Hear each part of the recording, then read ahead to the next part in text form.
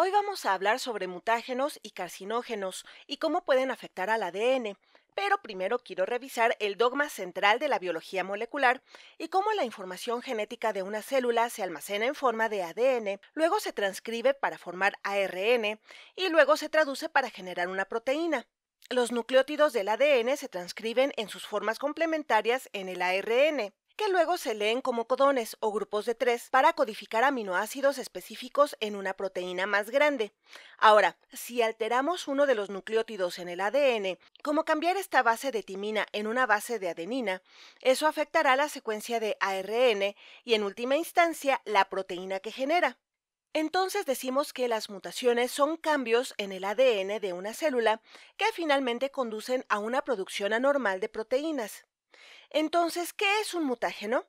Bueno, un mutágeno es cualquier sustancia química o factor físico que puede causar mutaciones genéticas. Las sustancias químicas como ciertos venenos podrían ser mutágenos y factores físicos como la luz UV o diferentes tipos de radiación también podrían ser mutágenos, y clasificamos los mutágenos en dos categorías diferentes. Entonces, digamos que tenemos una persona por aquí. Un mutágeno podría clasificarse como endógeno si proviene del interior del cuerpo de esta persona, es decir, es un mutágeno que ya se encuentra en el organismo. Pero un mutágeno exógeno es aquel que proviene del exterior del organismo afectado, algo que proviene del ambiente externo. Entonces, ¿cuáles son algunos ejemplos de mutágenos endógenos? Bueno, los mutágenos endógenos más significativos son los que llamamos especies reactivas de oxígeno o ERO. Las ERO son metabolitos que ocurren naturalmente en el cuerpo humano y son producidas por las mitocondrias durante la fosforilación oxidativa.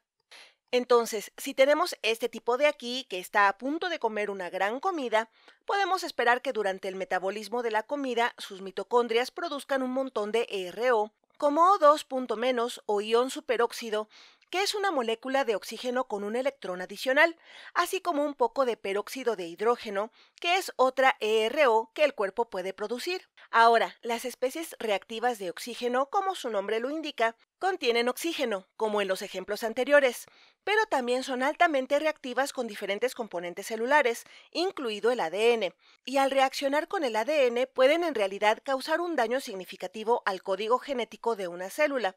Un ejemplo de este tipo de daño es la ruptura de doble cadena, y las ERO realmente pueden romper la doble hélice de un ADN en dos partes más pequeñas. Y podemos ver por qué este tipo de reacción podría causar una mutación, ya que cambia significativamente la estructura del ADN de la célula.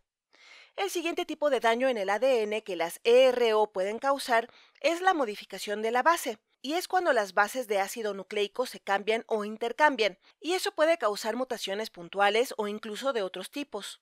Ahora, se estarán preguntando por qué una célula alguna vez haría algo que pudiera dañarla a sí misma.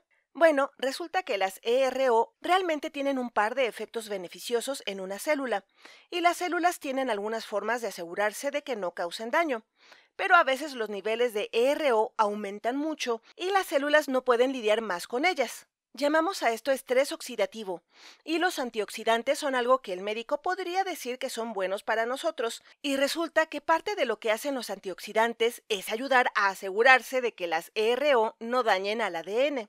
Ahora, veamos un par de ejemplos de mutágenos exógenos y hay muchos tipos diferentes de mutágenos exógenos, pero en realidad solo vamos a hablar de dos. Los intercaladores son un ejemplo, y uno de ellos se llama bromuro de etidio, con el que pueden estar familiarizados si alguna vez han realizado un experimento de PCR. Y lo que hará el bromuro de etidio es saltar a una doble hélice de ADN y pegarse entre las dos cadenas.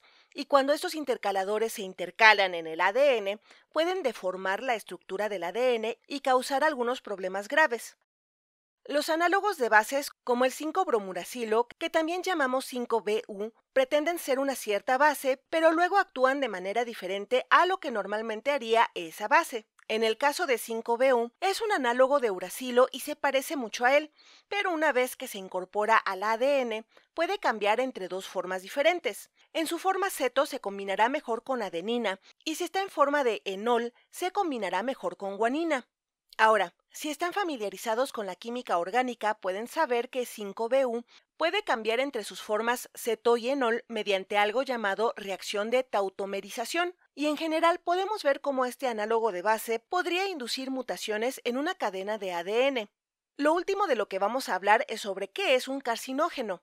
Los carcinógenos pueden ser mutágenos, no todos lo son, pero en general se puede decir que un carcinógeno es algo que puede provocar cáncer. Lo que recordemos es cuando las células de un organismo se dividen sin control y pueden formar grandes masas de células llamadas tumores. Algunos carcinógenos funcionarán haciendo mutaciones en el ADN que conducen al cáncer, pero a veces podrían llevar a cabo sus efectos simplemente aumentando la velocidad a la que se dividen un montón de células sin afectar realmente su ADN. Algunos ejemplos de carcinógenos son el tabaco, que proviene de cigarrillos, el asbesto, que solía usarse como aislamiento para el hogar, e incluso la radiación ultravioleta. Entonces, ¿qué aprendimos? Bueno, primero aprendimos que los mutágenos son sustancias químicas o factores físicos que pueden aumentar la probabilidad de que ocurran mutaciones genéticas. Y luego aprendimos que los carcinógenos son cosas que conducen al cáncer y aunque también pueden ser mutágenos, no lo son necesariamente.